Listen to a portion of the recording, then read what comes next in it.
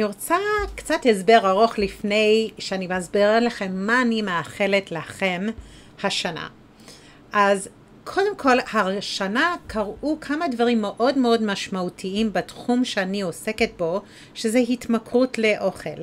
ואחד מהדברים הכי חשובים שקרו השנה, ואני מאוד פעילה ברמה בינלאומית, אה, ויושבת ראש הקבוצת עבודה אה, היחידה אני חושבת, והראשונה הבינלאומית של מטפלים בהתמכרות לאוכל, זה שבמאי 2024 בלונדון אה, היה כנס בינלאומי עם המון המון מובילי דעה בתחום אה, רפואה, מזון, בריאות אה, מטאבולית, על מחקר המזון. וכל המטרה של הכנס הזה היה להגיע לאיזושהי הסכמה, קראו לקונסנזוס, מה קוראים לזה? קוראים לזה התמכרות לאוכל, קוראים לזה התמכרות לסוכר, קוראים לזה... מה קוראים לזה? כי יש המון, כל השנים יש המון דיונים סביב זה. כי אם קוראים לזה התמכרות לאוכל, אבל חייבים לאכול, וזה ברור שלא מתמכרים לחסה, אבל זה ברור שיש מזונות שממש מראים תסמינים של התמכרות, בדיוק כמו התסמינים שהגדירו הפסיכיאטרים מה זה התמכרות. אז אה, מה עושים? ואז אומרים, אוקיי, אז נקרא לזה התמכרות לסוכר. אבל יש מזונות שלא מכילים סוכר שאנשים מתמכרים אליהם. או יש, נגיד, אם יש ממתיקים מלאכותיים, אז, ויש אנשים, אולי שיש מאכלים מאוד בריאים שיש בהם סוכר, כמו פירות אולי, או דברים כאלו, או יש סוכר בעגבניות, כאילו, אז מה? אה, אבל האנשים לא מתמכרים לעגבניות, אז איך קוראים לזה? ואז הגיעו להסכמה במאי שקוראים לזה התמכרות למזון אולטרה מעובד. אז קודם כל, מה זה מזון אולטרה מעובד? וזה פה דבר גדול. הגיעו להסכמה שישתמשו במשהו שנקרא קלסיפיקציית הנובה, שזה קבוצה של אה, חוקרים בברזיל שהחליטו שהם מחלקים את המזונות השונים בעולם שלנו, בשוק שלנו היום, לארבע קבוצות. יש את הקבוצה שזה מזונות לא מעובדים, או מעובדים באופן מאוד מאוד uh, קטנה, זאת אומרת פירות, ירקות, ביצים, בשר, דגים, כל הדברים שלא צריך תווית מזון בשבילם, או לדוגמה אם יש טונה בפחית אז זה עבר עיבוד אבל בצורה מאוד מאוד מינימלית. אז זאת הקבוצה הראשונה. הקבוצה השנייה זה רכיבים בסיסיים שרוב האנשים משתמשים בהם, כמו שומן, אה, שומנים, אה, מלח, אה, סוכרים, קמחים, דברים מהסוג הזה, או נג... כמו שמן זית לדוגמה. ואז יש את הקבוצה השלישית, שזה מזון מעובד, שזה לדוגמה, נגיד אם יש um, um, ירקות בפחית, או נגיד רסק עגבניות, או לדוגמה um, משהו כמו um, um, נגיד דברים שהם מעובדים אבל לא ברמה מאוד גבוהה, לדוגמה גבינה צהובה. אפשר לקרוא לזה מזון מעובד, אבל אז יש את הקבוצה הרביעית שזה מזון אולטרה מעובד. עכשיו, מזון אולטרה מעובד, ultra processed foods, זה בעצם דברים שקודם כל המטרה שלהם היא מטרה מסחרית. נכון? המטרה כאן לא להזין אנשים, אלא למכור מוצרים. דבר שני, בדרך כלל הם יכילו לא רכיבים סתם, אלא כל מיני תרכובות או כל מיני דברים שהוציאו אותם מרכבים, כמו חלבונים, או המילנים מעובדים, או שמנים אה, מעובדים שעברו כל מיני תהליכים של חמצון.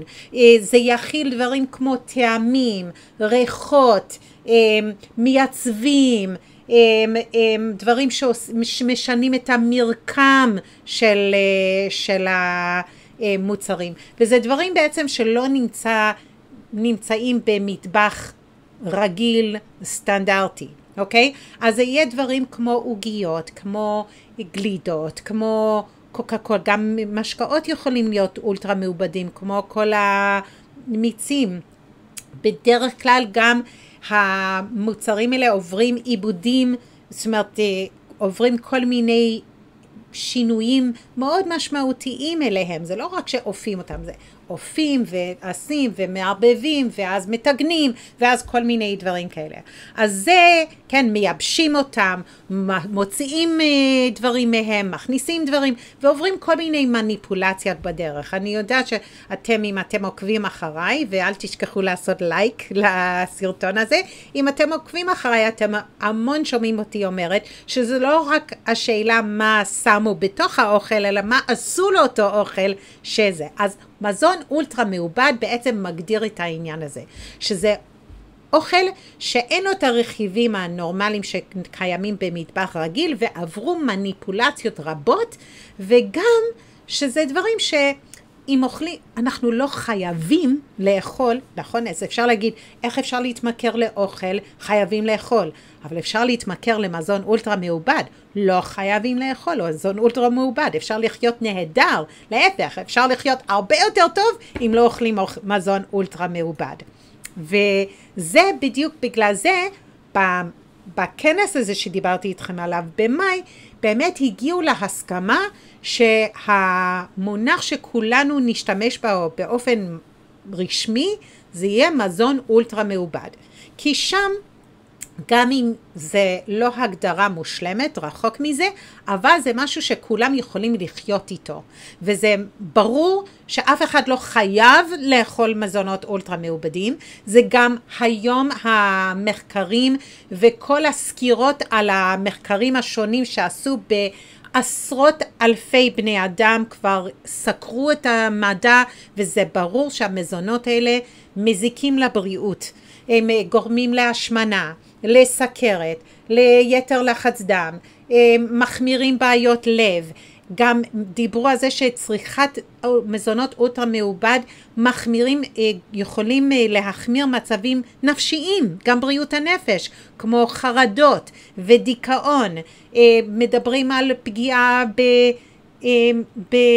בפוריות, בילדים, בכבד, בכל מיני אה, מקומות. אז זה באמת כאילו יש כבר הסכמה שזה גם לא משהו בריא, לא משהו שחייבים אותו, וגם יותר ויותר מחקרים מראים שבאמת כשאנשים מתמכרים למזונות מסוימים, זה בדרך כלל המזונות האלה, זה גורם לכמיהות, הם גם מיוצרים בצורה כזאת שאנשים ירצו לצרוך אותם, יצרכו אותם, הם גם משווקים בצורה שיצרכו אותם יותר ממה שהתכוונו, ויש אנשים שבהחלט מתמכרים אליהם ו...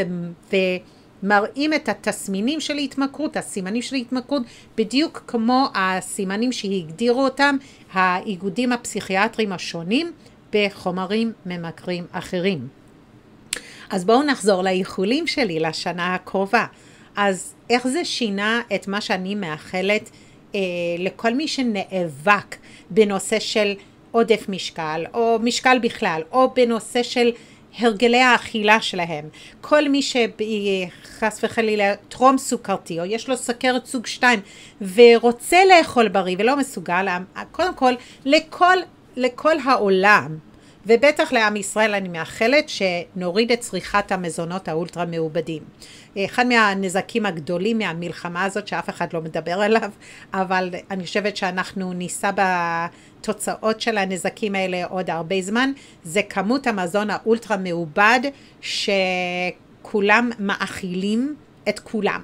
החיילים ואת הנשים של החיילים ואת הילדים של החיילים ואת המשפחות ו- ואת האנשים המפונים וכולם מפנקים את כולם עם המזונות האולטרה מעובדים האלה שהם מאוד מאוד מזיקים. אז קודם כל האיחול שלי לכל עם ישראל זה שנצרוך פחות, פחות מזונות אולטרה מעובדים ויותר אוכל אמיתי. ולכל האנשים ש... ממש מרגישים שהם במאבק קשה ועיקש עם המזונות האלה, הבצקים והמתוקים וכל המזונות האולטרה מעובדים, ורוצים לאכול בריא, רוצים לאכול אוכל אמיתי, ולא מצליחים לעשות את זה לאורך זמן, האיחול שלי אליכם זה שתשתחררו. שתשתחררו מהאובססיביות, מהכמיהות, מההרגשה של חוסר השליטה. וכן, זה כן אפשרי, גם אם ניסיתם כבר אלף פעמים, אל תוותרו לעצמכם, אל תוותרו על עצמכם. תנסו בפעם האלף ואחד, בפעם האלפיים חמש מאות, זה לא משנה. בסוף אם תמשיכו לחפש, תמצאו. ואפשר לעשות את זה, אבל לפעמים זה אומר שצריך לשנות. אי אפשר לקוות להמשיך לעשות אותו דבר רק שהתוצאות יהיו אחרות. לפעמים זה באמת דורש שינויים בגישה שלנו, בדרך שאנחנו עושים דברים. ואם אתם מרגישים שהייתם רוצים שינוי כזה, אבל אתם לא יודעים מה לעשות, או אתם יודעים מה לעשות, אבל לא מצליחים לעשות את זה לבד, זאת השליחות שלי. צרו קשר. זאת השנה שאפשר להשתחרר. אני מאחלת לכל אחד ואחת. אבל אם אתם רוצים מומחית בינלאומית, בעלת יותר מ-25 שנות ניסיון, שתעזור לכם ללוות אתכם לחיי חופש באוכל באמצעות שיטת יד, השיטה שאני יצרתי, לעזור בדיוק לאנשים כמוכם, צרו קשר. זאת השנה שאפשר לעשות את זה, גם במלחמה, גם שקשה, מגיע לכל אחד ואחת לחיות בחיי חופש באוכל, ולכל אחד ואחד אני מאחלת לכם שהשנה תצרכו פחות מזונות אולטרה מעובדים ויותר אוכל ביתי, אוכל שנעשה מרכיבים איכותיים, ושפחות נהיה משועבדים או עבדים של חברות המזון. והשיטות שיווק שלהם. וכמובן, כמובן, אני מאחלת לכם, לעצמי, לכולנו, שנה של שלום, של שלווה, שהחטופים יחזרו הביתה, ושכל אחד יחזור לביתו ויחיה בבית שלו בשלום ובשלווה, ושזאת תהיה השנה שאנחנו נוכל אולי להגיע לרווחה. בכל התחימים, והמון המון בריאות בגוף ובנפש. וכל מי שעוקב אחריי באופן קבוע, קודם כל, בבקשה, שימו פה את התגובות, תאכלו שנה טובה, מה אתם מאחלים לעצמכם, תעשו לייק, תעשו שייר, ותודה רבה על כל הפרגון שלכם לאורך כל השנים האלה, ושאתם איתי. ואנחנו נתראה בווידאו הבא. ביי ביי.